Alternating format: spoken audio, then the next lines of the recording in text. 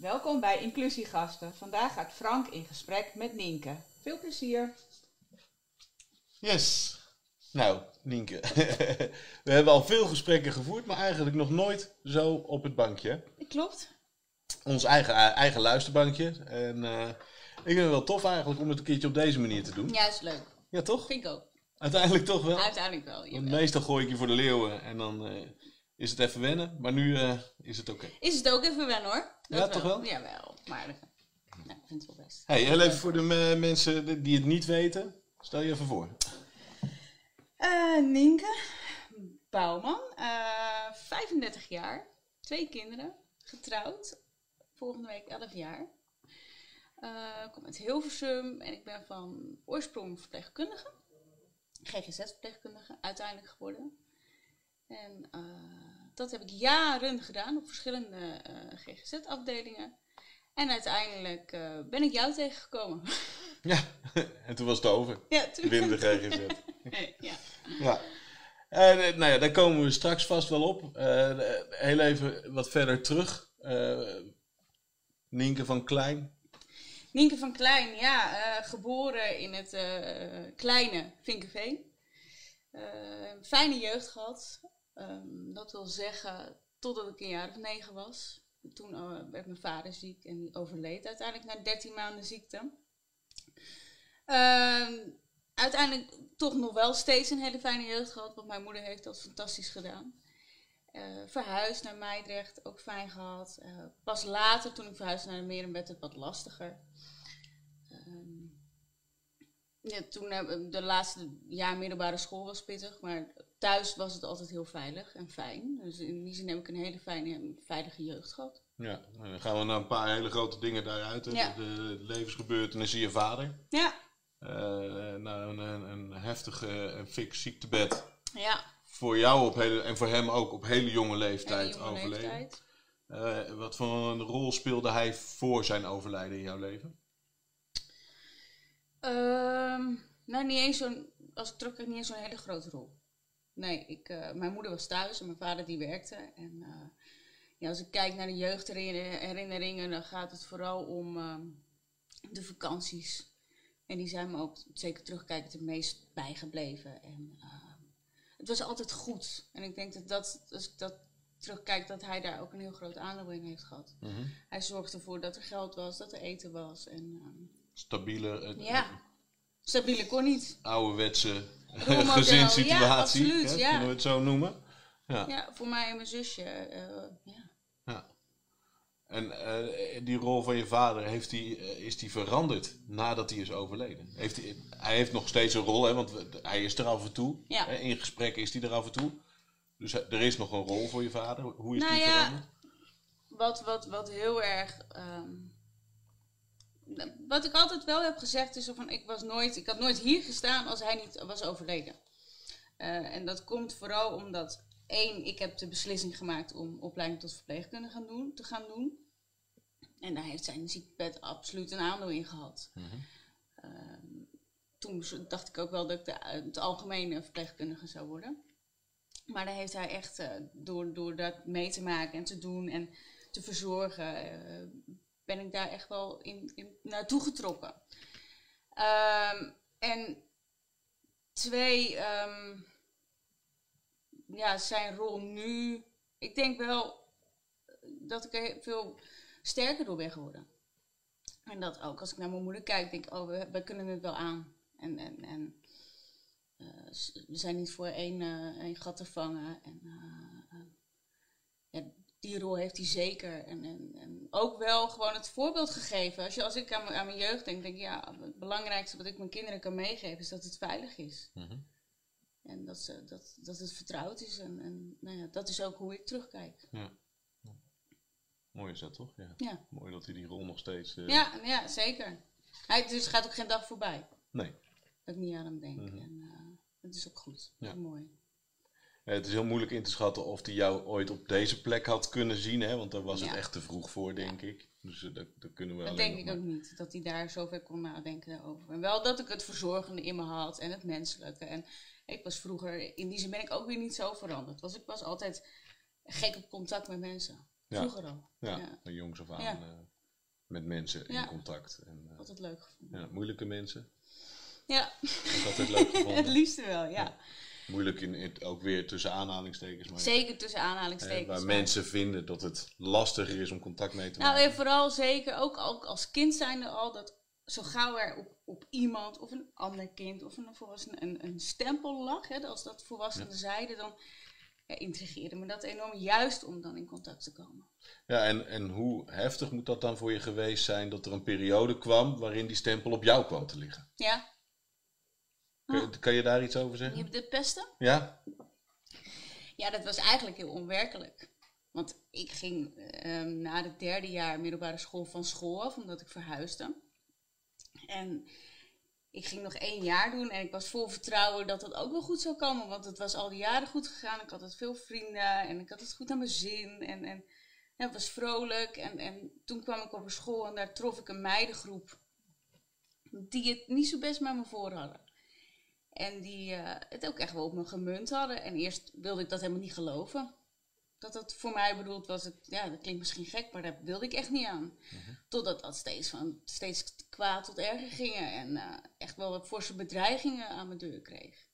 En dat op een gegeven moment bij een eindgalafeest een sigaret op een galenjurk werd uitgedrukt. Toen dacht ik, nou, hier wil ik zo snel mogelijk van af zijn. Dus ja, dat motiveerde me om heel snel mijn examen te gaan halen. En daarna nooit meer achterom te kijken, die kant op.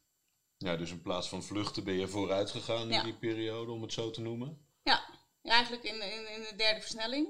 Zo Ja. snel mogelijk wegkomen. Maar Hoe lang is die periode waar we het over ja, hebben? dat hebben we het in eerste instantie dus over dat laatste jaar. Dan heb je het over een maand of negen. En daarmee dacht ik ook dat ik er vanaf was. Maar, Dat ging niet. Nee, toen, ook toen ik op de vervolgopleiding zat, toen bleef dat wel achtervolgen. en hoe dan? Oh, die stonden me gewoon op te wachten op eh, het Centraal Station. Dezelfde groep. Ik heb echt wel eens anderhalf uur. Je had vroeger als je dan centraal kwam de Charlie Cheers. Ja, ja, ja, zeker. Ja, ja. Ik heb er anderhalf uur binnen gezeten. Uit angst. Uiteindelijk ook wel bij de politie geweest, een melding gemaakt. En ook weer ingetrokken, want ik wilde er ook weer zo snel. Want ja, dat kon dan wel, als ik aangifte deed, wel anderhalf jaar duren. Mhm. En dan wil ik toch te snel vooruit. Ik, ja, nee, daar ga ik niet op wachten. Nee. Dan ga ik weer door. Ja. En uiteindelijk werd het ook minder en stopte het. Was je alleen toen? Nee. Nee, eigenlijk niet. Want ik had thuis had ik mijn moeder en die wilde er net als ik in het begin niet aan. Eh, maar had ook wel vrij snel door dat het ernstig was. En ik had een hele lieve vriend. Waarbij dus, weet je, ik woonde in de Meren. En daar was het goed. Daar had ik inderdaad die vrienden en het vriendje en mijn veilige gezin.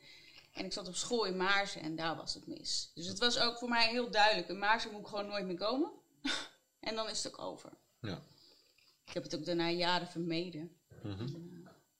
Maar het lag echt daar. En ook in de weekenden, weet je, als ik dan op vrijdagmiddag moest ik er wel even van loskomen. Maar op zaterdag eh, ging ik ook wel weer dat ik dacht, nou, kom op, hè, we gaan er weer voor. We hebben nu weekend. En, eh, Ja.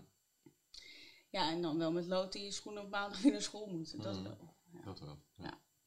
En de gezinssituatie was eh, dan op een gegeven moment jij, je zus en jij. Ik, mijn zus en mijn moeder. Ja? Ja. Dus, zei ik dat niet? Nou ja, Ja. ja dat. Hoe, Ja. hoe was dat? Ja, dat, dat, is, dat werd eigenlijk meteen een drie-eenheid. Dat, dat, dat eh, was mooi en zeker ook. ehm, mijn moeder kreeg een vriend en uiteindelijk die vertrok weer na een paar jaar. Dus ja, je wordt, we, we werden altijd weer met, bij elkaar teruggezet. En ik denk in, ik weet niet eens welk jaar precies. Op een gegeven moment kreeg ze André. En André is er nog steeds.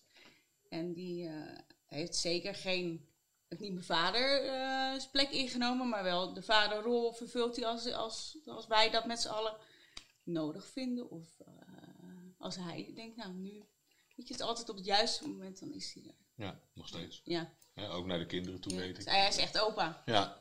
Ja. mooi is dat om te zien. En daar kan ik ook echt trots op zijn. En, en je zus was een, een leermonster, hè, om het maar even... eh, eh, Ja. Die, die kon heel goed leren, eh, nog steeds. Hè, die, die gaat daar Blijft door. ook leren? Eh, en, en had daar ook lol in. Ja. Eh, jij minder. Ja, totaal niet. ik deed alleen maar wat, wat, ik, nou ja, wat nodig was. Mhm. En met een zes kwam ik er. En ik wist, waar ik, ik wist natuurlijk op een gegeven moment al heel goed waar ik naartoe wilde. Ik moest en zou verpleegkundige worden. Dat, dat was vast besloten en dat zou ik ook worden. Ehm, en uh, mijn zus die was gericht op, op de topsport en het uh, een hoog niveau leren. Mhm. En ik helemaal niet. Nee. En hoe heeft dat dan hè, op jouw zelfvertrouwen, als je dat pesten neemt en een zus die heel hard leert en, en nou ja, toch zonder vader, hoe heeft dat uh, weerslag gehad op jouw zelfvertrouwen? Of op je eigen beeld, uh, zelfbeeld? Nou, dat bleef eigenlijk al die tijd nog wel goed gaan. En de, toen die tijd dat ik gepest werd, kreeg ik ook wel, wel nare nachtmerries over het overlijden van mijn vader. Dus daar heb ik toen hulp voor gekregen. EMDR, en een tijdje bij een psycholoog gelopen. En um, dus, dus voordat dat echt heel ver afgebrokkeld was, ja, werkte ik er wel weer aan om dat omhoog te krijgen. En um, ja, toen, het eerste jaar verpleegkunde ging dat eigenlijk pas echt mis. Want toen, um, ik werd aangenomen om de uh, beroepsbegeleidende leerweg te doen als verpleegkundige. Dus dan werk je in het ziekenhuis en dan ga je één keer in de zoveel tijd twee weken naar school. Nou, in eerste instantie was ik daar als een vis in het water. Ik vond het fantastisch in het uniform. En ik, ik, ik heerlijk met die collega's en met die mensen op het bed zitten, praten. Nou, we hebben dat niet altijd in dank afgenomen, want eigenlijk was die tijd er niet. En ik deed het wel. Totdat ik op de dag, uh, ik weet het nog heel goed, want het was 11 juli, liep mijn proeftijd af. En uh, zou ik horen of ik doorging en uh, mm -hmm. door naar het tweede jaar. En, maar goed, in geen, geen moment dat ik ook heb gedacht, nou dat haal ik niet. Want iedereen was altijd heel positief over me. Maar mijn resultaten waren goed, mijn toetsen waren goed. En ik haalde het allemaal in één keer. En in de klik was er. Dus nooit gedacht van dat dat uh, invloed zou hebben. En toen op 10 juli had ik dat um, evaluatiegesprek. De sterfdag van mijn vader. En toen was mij een van mijn favoriete collega's was ineens aan het werk. Terwijl op het rooster was je vrij. Dat vond ik vreemd. Ik dacht, hè, wat doe jij nou hier? En toen kwam dat gesprek en toen zeiden ze, ja Nienke, um, we stoppen ermee. En je, jij zult nooit verpleegkundige worden. En dat was het moment dat echt alle toekomst leek uh, weg te vallen. Dat was heel heftig. dus ik weet zeker als ik nu terugdenk. -hmm.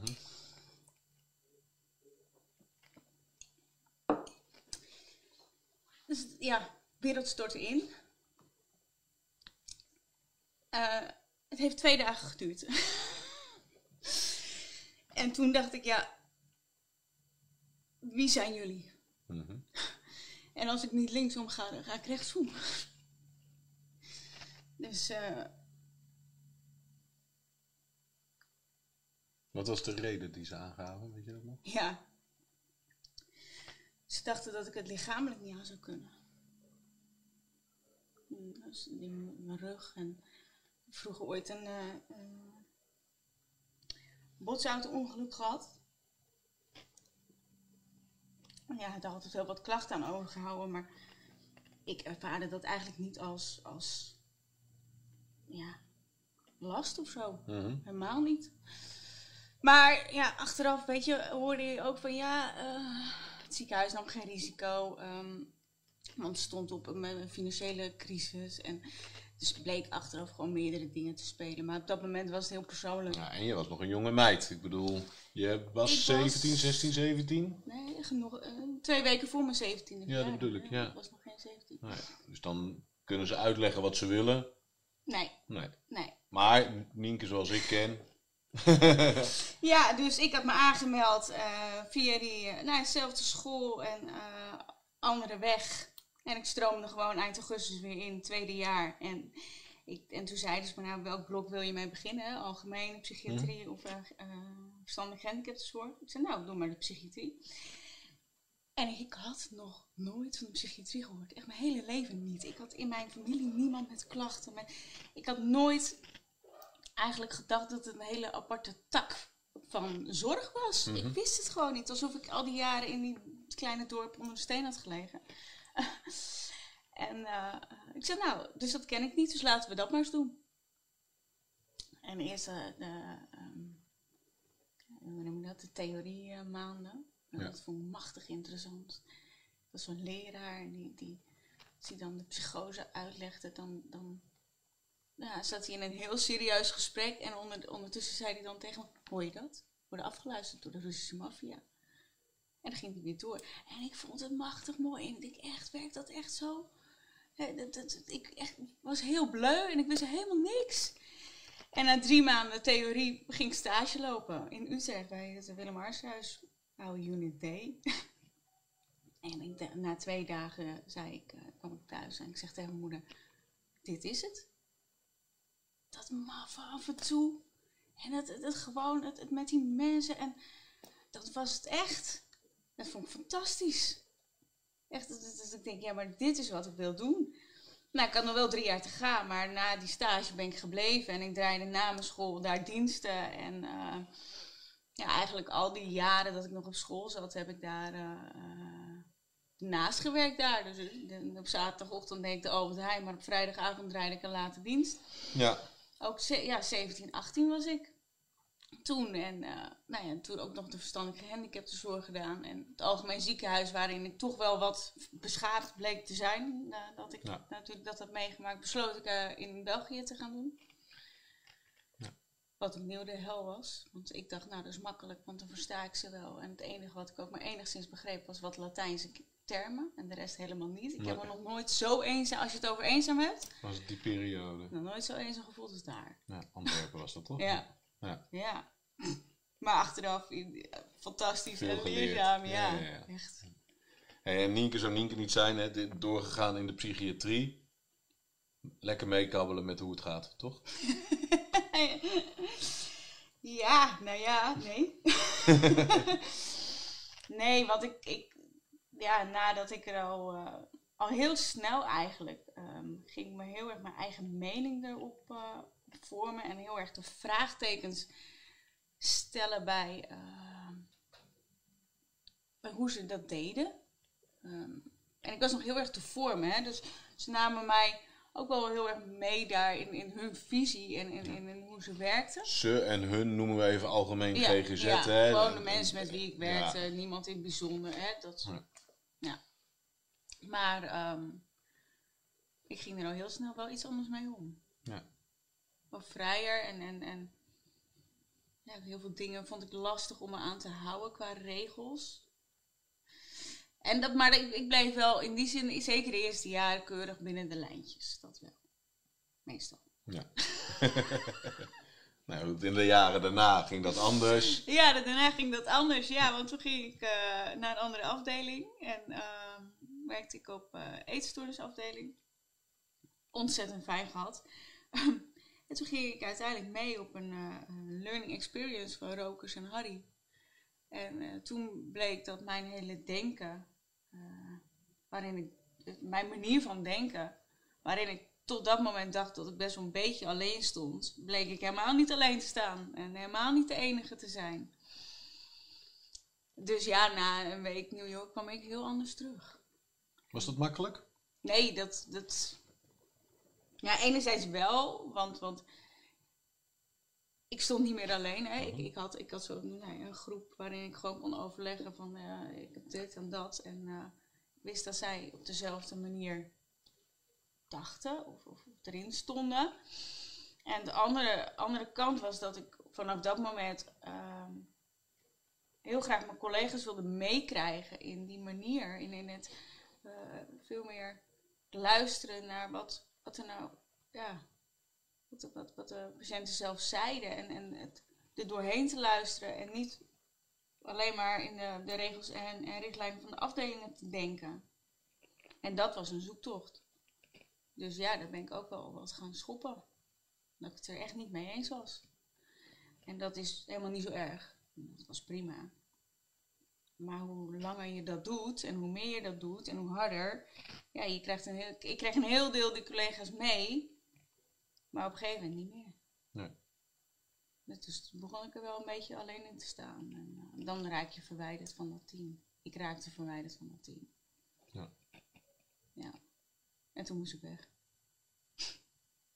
Ja. Nou, en toen was daar Antwerpen, Meet the Expert. Ja. Daar hebben wij elkaar leren Daar hebben kennen. wij elkaar leren kennen. En, In een eh, eh, seconde of tien, denk ik, ja, dat het was. ja, dat. En eh, afgesproken dat we zouden gaan afspreken. Zo was het Ja, gegaan. En toen kwam je daar en en, nou, vol met plannen nog. Ja, want ik moest verder natuurlijk. Ik moest nog een opleiding doen. En vond ik toen, hè. Want ik was, ja, voor dat moment stond ik te veel stil. En dus, dus zat ik jou heel vastbesloten te vertellen. En eigenlijk schoot ik op dat moment volgens mij alle kanten. Hé, hey, moet dit en dat. En ik ging het uitzoeken en wat wilde ik dan? Maar eigenlijk klopte het allemaal niet meer met, met waar, hoe ik erin stond. En toen zijn we de tweede keer koffie gaan drinken. Zijn we wel al even verder. Ja, dan hebben we het inderdaad. December ging koffie drinken. Dan hebben we het over ja, nee, januari koffie drinken. Nee, juni. Ja. Juni spraken we elkaar toen voor de tweede keer. En toen zei ik tegen jou van Frank, ik weet het niet meer. ik weet het echt niet. Het, is allemaal niet, niet uh, ik, voor nu. Het zijn eigenlijk meer allemaal vragen en geen antwoorden. En, uh, en toen zei jij, nou ja, als je het dan toch even niet weet, wil je mij dan helpen om het festival te organiseren? Oh, dat ben ik gaan doen. En, uh, want ik weet nog heel goed dat jij dat toen vroeg. En toen zei jij van, wil je mij helpen? Ik heb alleen, het punt is, eigenlijk heb ik nog niks. en toen was het, ja, ik geloof 28 juni. Ja. Je had nog geen terrein. Niks. Ja, maar echt helemaal niks. We hadden nog echt nul, nee. ja. Ja, nou, ik hield het van een uitdaging. Ja, dus uh, dat terrein had je overigens drie dagen later wel. Ja. Van mij. Ja.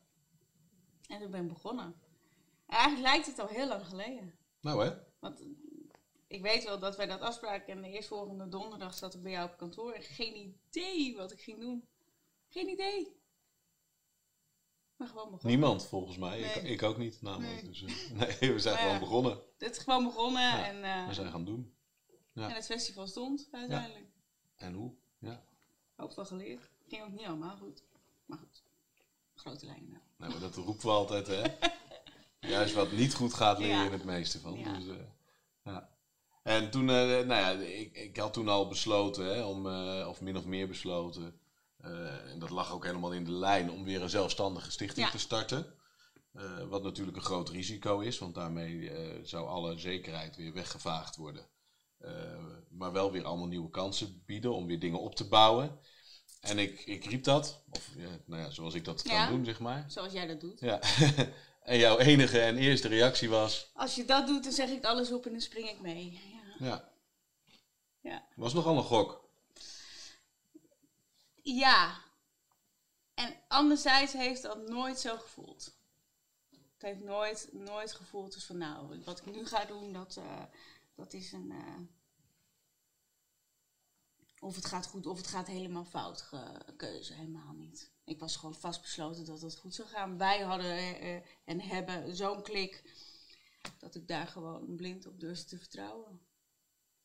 En, en naarmate we daar, dan ga je iets verder aan begonnen, heb ik ook wel meteen gedacht zo van ja, weet je, dat ik dit nu heb gedaan. Um, ik moet gewoon elke dag nog tegen mezelf, of mezelf de, de, de vraag, als ik mezelf de vraag stel van durf jij morgen weer vanaf nul te beginnen en ik blijf daar ja op antwoorden, dan zit ik nog goed. Ja. Nou ja. Tot op de dag van vandaag denk ik nog steeds ja. Durf weer vanaf nul te beginnen. Want dat was het wel. Ja. Daar zaten we in een uh, oud schoolpand, in een klaslokaal, op een zitzak en een klein bureautje op een hotspot van een telefoon. Elk jaar komt die foto voorbij in januari ja. of eind december. Ja. En dan denk ik, oh ja. En het is goed dat die foto voorbij komt. Want het, het doet ook weer even realiseren. Ja. Zou ik dat nou nog een keer doen? Ja. Het ging uiteindelijk heel hard. Ja, want je stapte in iets waar je eigenlijk nooit voor geleerd hebt natuurlijk. Nee, hè? En, nee. en, en, zelf eigenlijk ook geen idee had of je het kon. Nee. Die gesprekken hebben we ook heel veel gevoerd. Van, nee. Hè, uh, Wat ik zei, nou, ik weet niet of dat wel kan. Ja. Ja. Ja, dat klopte. En anderzijds, ja, er zijn wel, uh, wel momenten geweest, maar als je terugkrijgt in gro grote lijnen, dan, dan denk ik, ja, dat, ik kon het wel. Uh, niet elke dag zeker van geweest. ik weet nog zo goed dat ik jou op een avond of zo. Ik zou ergens alleen heen gaan. en het verhaal gaan houden. En, en s'avonds dacht ik, nee, en ik kan dit niet. En, en, en jouw huilend opgebeld, nee, ik trek het echt niet. En dat jij uiteindelijk meeging en dat ik daar die volgende dag zat. En, en volgens mij deed ik, nou, ik weet het niet, of ik deed wel het verhaal. Of, of- maar dat ik daar nou wegreed en dat ik zei van, jeetje, heb ik nou zo druk op gemaakt? Had ik best gekund. Ja. Ja. Ja, als ik daar aan terugdenk, denk ik inderdaad. Dat was het wel. Nou, en, en wat mij heel erg bij is gebleven, en misschien zit dat in het verpleegkundige, hè, het, het niet durven fouten maken. Ja. Ja. Of misschien zit dat in vroeger, of hè, in het, in het ja. op dat stuk misschien opboksen tegen je zus. Of ik, dat ja, ik heb daar, nou weet niet. Ik, weet, ik denk niet dat ik daar de, nou, altijd de vinger op kan leggen waar dat nou echt vandaan komt. Mhm. Nee. Het, het, dat weet ik niet. Daar ben ik nog steeds niet achter. Maar ik vond het heel eng. Ja, steeds minder. gelukkig. Ja. Ja. Ja, dat was ook een moment. Dat, ja, ik heb me een boek gegeven eh, daarover. Over eh, Fouten maken moet. moeten, ja, met een D. Ja. En op een gegeven moment, echt op zo'n avond, dat ik in één keer. eh, nou, wat was het? Een soort, soort lampje boven je hoofd of zo. Ik weet het niet, maar dat het. Ja, ineens viel het. En toch, hè, naast dat ik het als een hele leuke periode, is het voor jou ook een lastige periode geweest, weet ik. Het was eh, in die zin, Walter stond er, hè, je man, volledig achter. Eh, wat Ja. ontzettend knap was. Maar wat wel wat vroeg om, om. Het ging zo snel om je gezin erbij te houden. Hè, om, joh, wat gebeurt er nu eigenlijk? En, en nou ja, dat was heel snel.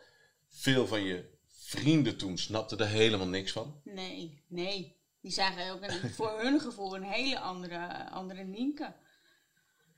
Terwijl zo heb ik het nooit ervaren hoor. Dat het een hele, maar ik snap wel dat, dat altijd als je ziet welke lijn ik heb gevolgd, dat het een heel vreemd iets leek. Zo van ja, maar, wat voor gekke sprong maakt ze nou?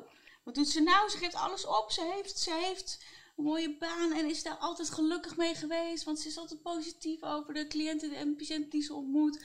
Waarom geeft ze dat nu op? En, en voor alleen maar onzekerheid. Want we hadden niks. En, eh, maar goed, op dat moment, en daar hebben wij het natuurlijk wel uitvoerig over gehad, weet je, Walter die stond erachter en mijn moeder en ook mijn zus. Ik denk zelfs nog mijn zus als eerst. Ik weet wel dat, nou, we, we zaten nog voor het, de eerste uh, social dat ze mij een laptop gaf. En dat ze Ja. zei, nou, Maar je zus is ook van het springen, hè? ja. Ik bedoel, ja. Ja, lijkt heel lang geleden. En, en dan is, ook, is dat het ook weer niet. Maar ja, uiteindelijk, eh, iedere verjaardag die volgde en ik mijn vrienden weer opnieuw eh, sprak en ze vroegen van, gewoon Nienke, hoe staat het daar nu mee? En ergens altijd voorbereid zijn op het antwoord dat ik ging geven, nee, sorry, het is toch gevlogd, ik ga weer terug naar een afdeling of hè, zoiets. Is er altijd het nieuws vanuit mij gekomen. ehm, ja, gaat goed. Gaat alleen maar beter. En we gaan ervoor. En eh, nee, we gaat alleen maar beter. En alleen maar positief. Dus nou, inmiddels zijn ze allemaal wel overtuigd. Ja. ja. Maar ze hebben het zeker toen niet allemaal begrepen. Is ook bijna niet te snappen, nee, hè? dat, Dat, is het ook. ook. En, dat, en, en het, het is heel goed wat jij zegt. Hè. Het ging heel snel allemaal. En, en, en zeker, ik, ik, ineens ging ik een soort van drie banen vervullen waar ik nog nooit van had, voor had geleerd. Dus die ontwikkeling ging, ging heel hard. En dat jij ook wel echt tegen mij zei van ja, eh, houd je gezin erbij. Hè. Neem ze mee eh, daarin. Eh, want ja, anders wordt het gat te groot of krijg je het nooit meer uitgelegd. Ja, dat is ook wel echt zo. En dat, eh, dat heb ik ook altijd wel proberen te doen. En we moeten wel alert op blijven ook. Ja, het gaat nog steeds heel hard. Het, ja, ja, is ook zo. Ja. Ja. Maar we hebben ze ook heel hard nodig. Ja. Dus dat scheelt. Ja. ja, we hebben ze zeker heel hard nodig. Want anders zouden, zou, ja, als die thu- thuisbasis niet eh, goed, veilig en stabiel zou zijn, dan eh, zou, zou ik het niet kunnen doen. Nee.